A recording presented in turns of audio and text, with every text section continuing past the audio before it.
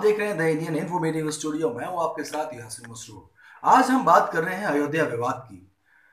छत्तीस दिन जो है वो अयोध्या की जो सुनवाई है, वो पहुँच चुकी है और बहुत जल्द जो है वो इसका फैसला भी आ जाएगा। दोनों ही पक्ष जो है वो सत्रह अक्टूबर तक जो है वो अपने अपने पक्ष जो है वो रख देंगे। लेकिन आज हम एक बड़े सवाल पे बात कर रहे हैं। वो सवाल ये है, क्या आस्था के आधार पर, जी हाँ क्या आस्था के आधार पर अयोध्या विवाद को सुलझाया जा सकता है? क्या आस्था के विवाद पर सुप्रीम कोर्ट जो है, वो जो है अयोध्या विवाद को सुलझाएगा। ये बात इसलिए उठ रही है क्योंकि काफ़ी दिन इस चीज़ को हो गए हैं और हम बता दें कि 2010 2010 में जब अलाहाबाद कोर्ट के लखनऊ में इसने फैसला दिया था तो उन्होंने भी जो अपना फैसला है, वो आस्था के आधार पर दिया था। उन्होंने अपना फैसला आधार पर दिया था, आस्था के।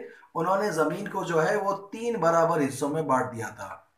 2010 में जब फैसला सुनाया गया था तो ज़मीन को तीन बराबर हिस्सों में बांट दिया गया था जिसमें से एक हिस्सा सुन्नी वक्फ बोर्ड का था दूसरा हिस्सा जो था वो रामलला ब्रिजमान का था और तीसरा हिस्सा जो है निर्मोही अखाड़ा का था। तो ये तीन जो बराबर हिस्से थे उनको जो है सबूतों के नहीं बल्कि आस्था के आधार पर जो है वो बांटा गया था।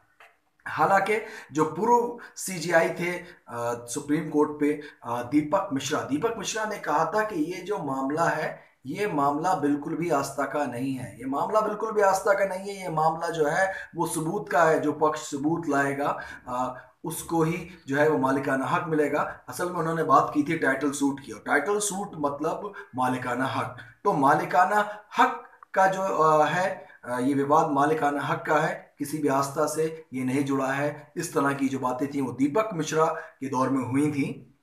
लेकिन अब आप लोग ये सोच रहे होंगे कि अब नौ साल बाद ये बात दोबारा क्यों उठ रही है? नौ साल बाद ये इसलिए उठ रही है क्योंकि मामला अब सुप्रीम कोर्ट में है। और सुप्रीम कोर्ट में छत्तीसवें दिन जब सुनवाई चल रही थी तो सुप्रीम कोर्ट के, हम आपको बता दें कि सुप्रीम कोर्ट के चीफ जस्टिस जो हैं राम रंजन, जो, जी जो है, रंजन गोगी जो है, वो इसकी अध्यक्षता कर रहे हैं। उनके सामने मामला ये आया था, हिंदू पक्ष के जो वकील हैं, हिंदू पक्ष के वकील सी एच वृंदनाथन ने कहा था कि रामलला से जो जुड़ा मसला है, ये मसला जो है वो आस्था का है।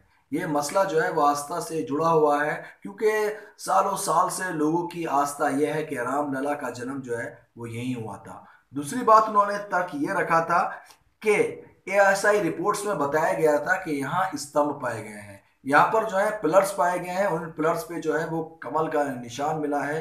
और गंगा नदी का प्रभाव भी इस पर आ, मिला है। तो इससे इस चीज़ का अंदाज़ा लगाया जा सकता है कि ये जो आ, मामला है ये आस्था का है और आस्था के तौर पे जो है उन्होंने जो है इस बात को कहा।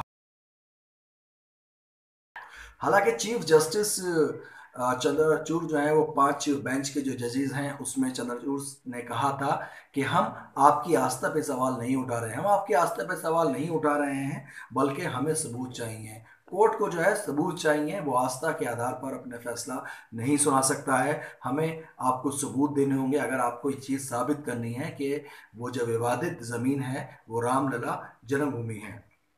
मुस्लिम पक्ष के वकील राजीव धवन राजीव धवन ने कहा कि एसआई रिपोर्ट में कहीं भी ये बात साबित नहीं होती।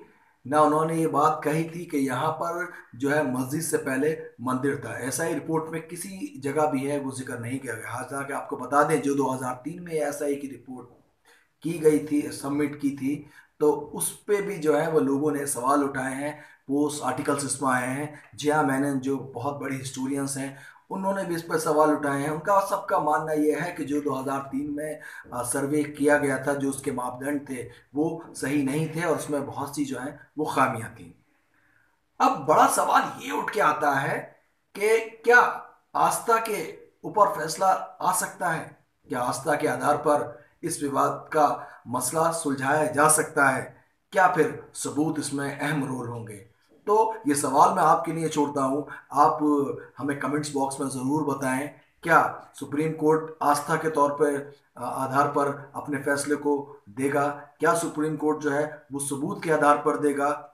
क्या चीज़ जो है, इसमें और हो सकती है? तो फिर किसी और न्यूज़ के साथ मैं आपके साथ रहूँगा मौजूद। आप बने रहिए द इंडियन इंफॉर्मेटिव स्टूडियो के साथ। इस चैनल को लाइक और सब्सक्राइब करना ना भूलें।